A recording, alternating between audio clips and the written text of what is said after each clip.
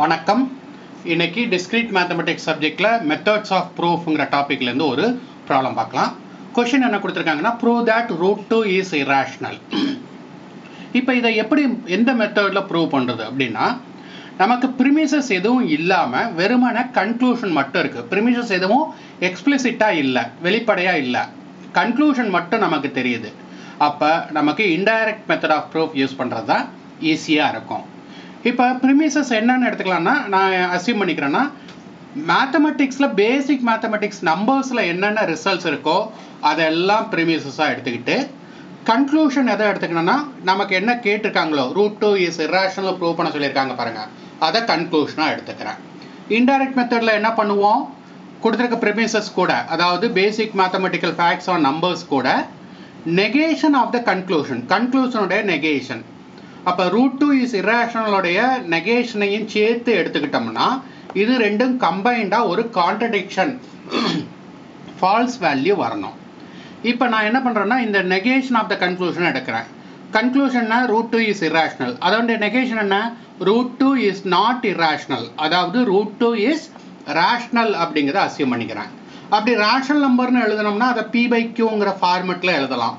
B by கியூங்கிற ஃபார்மெட்டில் எழுதும்போது நமக்கு பியும் கியூவும் காமன் ஃபேக்டர் இல்லாத மாதிரி நான் எடுத்துக்கிறேன். இப்போ ஃபிஃப்டீன் பை தேர்ட்டி ஃபைவ் இருக்குது.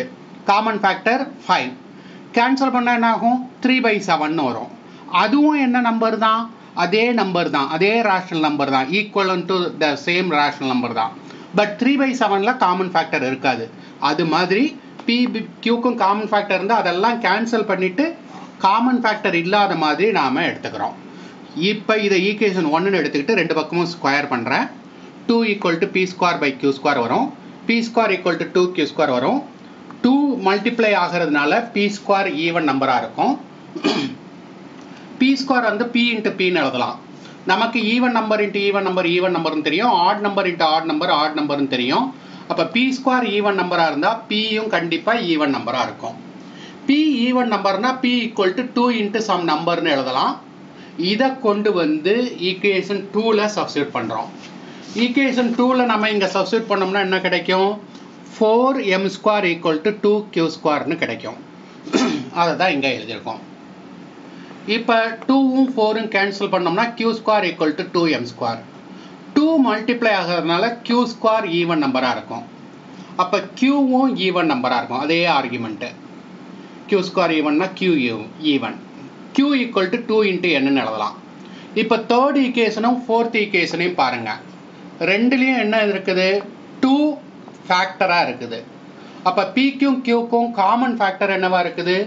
டூன்னு இருக்குது. பட் நாம் இங்கே என்ன அசியூம் பண்ணியிருக்கோம்?